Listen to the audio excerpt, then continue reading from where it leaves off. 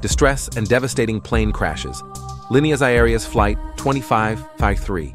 On October 10, 1997, a horrible catastrophe befell Flight 2553 of Austral Líneas Aéreas, a McDonnell Douglas MD-81. The plane took off from Posadas, Argentina, and was bound for Buenos Aires.